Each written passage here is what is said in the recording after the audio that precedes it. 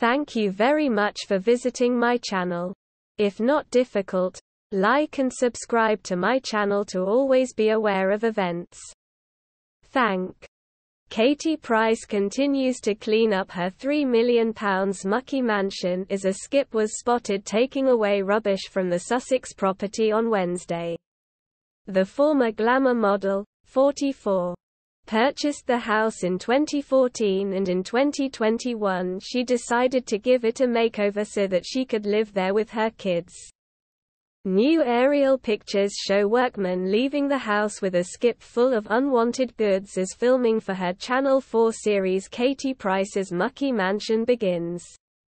She event threw out a rusty old horse sculpture after her 2.6 million Instagram followers were in agreement she should get rid of it.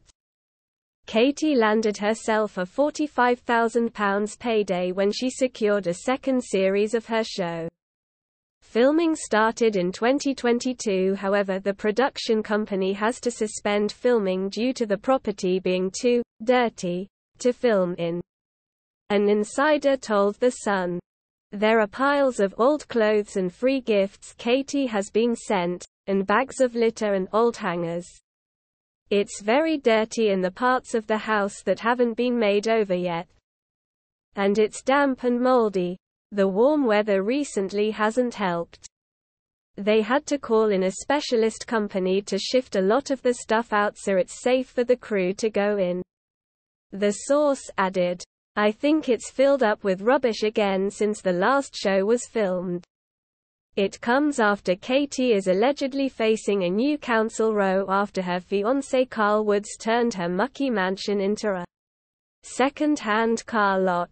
Again, the car salesman was spotted using the grounds of the model's dilapidated West Sussex home to flog a fleet of his cars earlier this year. After formerly running his business from his dad's home in Essex.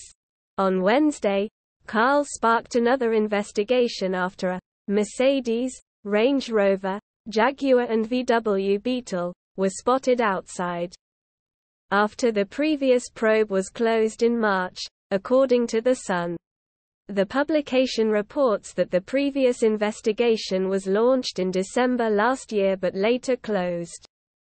With a second now, pending consideration. If trading vehicles from home, planning laws require that planning permission should be applied for to change the use of the premises.